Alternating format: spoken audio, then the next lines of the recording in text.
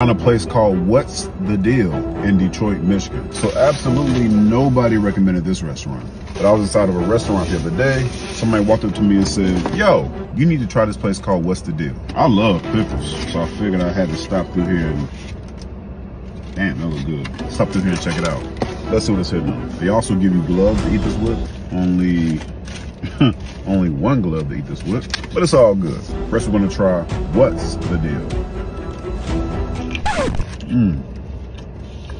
This is a very interesting concept. Let me explain to you. So they give you two pickles, right? Two big pickles. They slice them in half and make it out of a sandwich. This one right here has corned beef, turkey, shredded cheese, bell peppers, lettuce, sweet spicy mustard, and seasoning. When you first open the box, you can smell the seasoning and everything smells so damn fresh. Turkey and the corned beef goes good together. It does say shredded cheese. They didn't give me a lot of that, but I'm cool with that. We also have green bell peppers. I like that too. Now it says it's supposed to have spicy mustard on here. I had some on my hands earlier, but that's really all I see on here. Had this had more spicy mustard, this would have been amazing.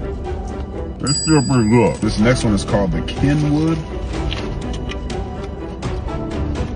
That's pretty legit too. So this one has imitation crab meat, shredded cheese, red onions, lettuce, ranch, and seasoning. They give you a lot of imitation crab meat. I mean a lot. The shredded lettuce is good and fresh. The seasoning. That should smell real good too. I'm assuming it's some type of seasoning salt or maybe some type of Creole seasoning. Whatever it is, is good. And now this is supposed to have ranch on it. It does have a little bit of ranch. It does, it does have a little bit. But I really wish this had more ranch. Also, I'm a pickle person. You can't go wrong with pickled vegetables because the pickle itself really isn't that sour. If this had pickled onions on it instead of regular onions, Jesus Christ. But this is still pretty good. Last but not least, we got something called the Big Dill. Hmm.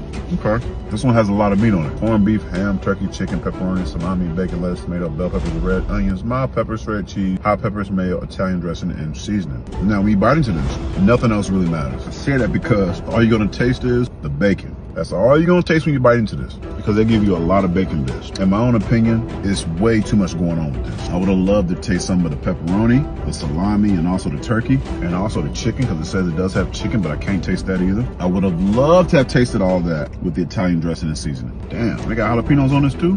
See?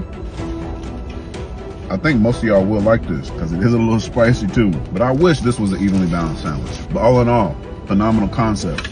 I still like it. I'm gonna put the address right here. Look, I don't know where I'm at. Took a little, you know, surveillance around the area so you guys can see where I am, if you guys recognize the area. If you like pickles, if you love pickles, this is the best creative breadless concept that has ever hit this channel. You wanna try something different?